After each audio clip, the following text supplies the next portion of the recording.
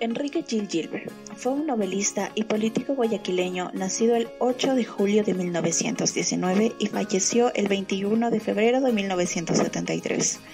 Fue hijo del señor Enrique Gil Quesada, contratista municipal y agricultor, dueño de la hacienda Chojampe. Este falleció en 1919 por un derrame cerebral, y de la señora Mercedes Alejandrina Gilbert Pontón. Gilbert realizó todos sus estudios en la ciudad de Guayaquil y los culminó en el tradicional Colegio Vicente Rocafuerte, donde obtuvo su título de bachiller. Fue el miembro más joven del llamado Grupo de Guayaquil. Tuvo una intensa vida política y catedrática.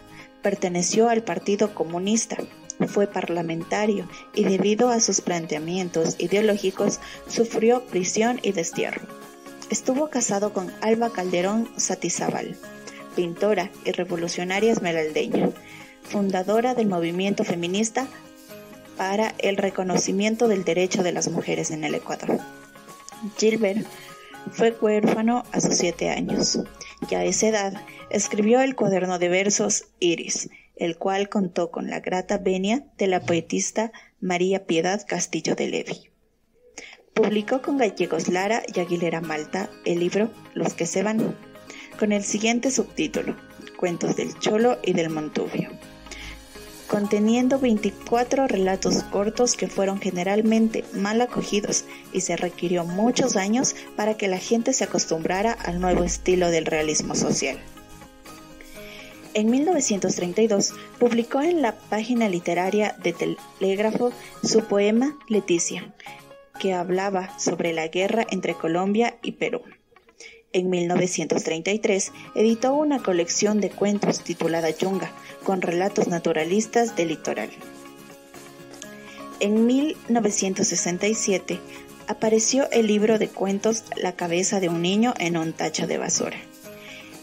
En 1969, Las sangres, las vetas y el asfalto, libro que escribiera en el penal entre 1963 y el 1964 pero su obra más destacada es Nuestro Pan, publicada por primera vez en 1942 en Guayaquil. La trama de la novela gira alrededor del proceso de siembra, cosecha y venta del arroz, presentando los vaivenes y decepciones que sufren los trabajadores a manos de la codicia y explotación del dueño de la plantación. La expresión nuestro pan hace referencia a la importancia central que tiene el arroz en la dieta de los ecuatorianos. Esta novela está dividida en cuatro libros. El primero, Los Desmonteros, que narra el proceso de siembra, cosecha y venta del arroz desde el punto de vista de los jornaleros. El segundo, La Cerca, se centra en los azares que llevaron a Hermógenes Sandoval, actual dueño de las plantaciones de arroz, a pasar de general liberal a rico hacendado. El tercero se titula Hombres sin Destino, que cuenta la historia de Eusebio Sandoval, hijo único de Hermógenes, quien vuelve al campo luego de doctorarse y cuya ambición desmedida hunde en tragedia a los trabajadores más humildes de la hacienda, particularmente a los indígenas. Y la cuarta y última se titula La dimensión del hombre, que narra el triángulo amoroso entre Eusebio, su esposa y el amante de esta.